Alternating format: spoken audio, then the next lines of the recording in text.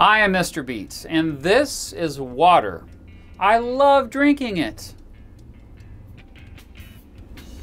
Mmm. In fact, I drink it every day, and you should too, uh, since you need it to survive and stuff.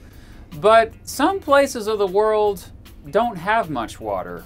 You know, like in deserts. And yet, people still find a way to live in deserts, in some of the driest places on Earth. In fact, some of the largest cities in the world are smack dab in the middle of a giant desert. One such city is one of my favorite places to visit Las Vegas. 2.2 million people live in the Las Vegas metropolitan area. Every day, these 2.2 million people all need to drink water, bathe in water, wash their stuff with water, water their plants and lawns and even play in water. The average household in Vegas uses around 222 gallons of water per day. So that's 489 million gallons for everyone per day. That's a lot of water needed in a city that gets just over 4 inches or 10 centimeters of rain each year. And recently, the city suffered its longest drought on record, a period of 116 straight days without rain. So, where the heck does Las Vegas get its water? How can all of this continue to exist, especially something like this? And one of the driest places on Earth? Well, most of the water Las Vegas gets originated here, the Colorado River, a river that supplies water for, you know, just seven states in the country? No, I'm not joshing you. That one river is the lifeblood of these seven states. Because they all rely on the same river, they all signed an agreement called the Colorado River Compact, and it divided up the water from the river in this way. This agreement gave 97 billion gallons of water per year for Nevada. At the time the agreement went into effect, 1928, this was way more water than Las Vegas needed. Heck, at the time the city had less than 5,000 people living there. In 1935, the U.S. government completed the Hoover Dam, which then created the largest reservoir in the United States, Lake Mead.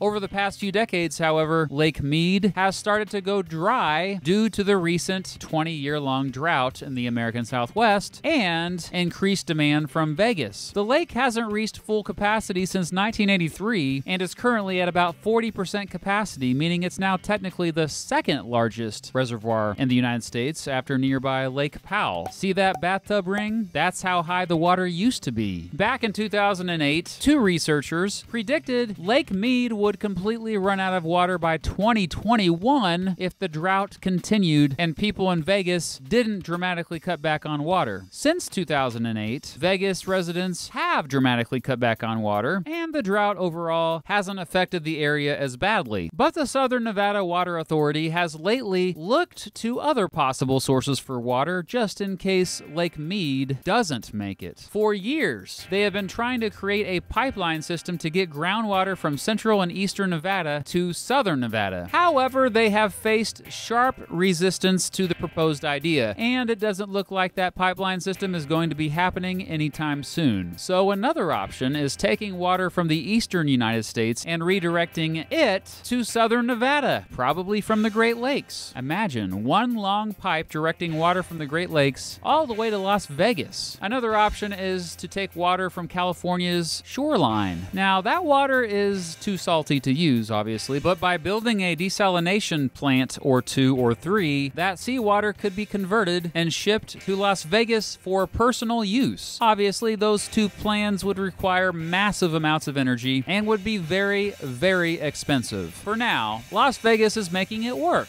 To find out more about how Las Vegas is both conserving water and looking for additional ways to get water, check out my friend Jacob's video over on his channel, Jacob's Life in Vegas. His channel is pretty much the go to source for me regarding anything related to Las Vegas. Be sure to subscribe while you're over there. Around 700 million people around the world don't have regular access to fresh water, but it's important to remember that entire cities can run out of water. Cape Town, South Africa, recently got worldwide attention for nearly running out of water, and Las Vegas could be next. Unless the drought in the American Southwest and Rocky Mountains ends, or billions billions of dollars are poured into shipping water to the city, it could be a city on the brink of disaster. Whether we live in the desert or whether we live next to a bunch of fresh water, we all could benefit from watching closely how Las Vegas manages its water. The lessons learned there could help all of us as water increasingly becomes a very valuable resource. Mm. You should try this stuff. It's pretty good. Thanks to Jacob from Jacob's Life in Vegas for supporting me and collaborating with me for this episode. His video is linked below. Do you live in Las Vegas or another desert city? Are you afraid that your city's going to run out of water? What is your city doing to manage its water? Let me know in the comments below. I'd really like to hear from you. Thank you so much for watching.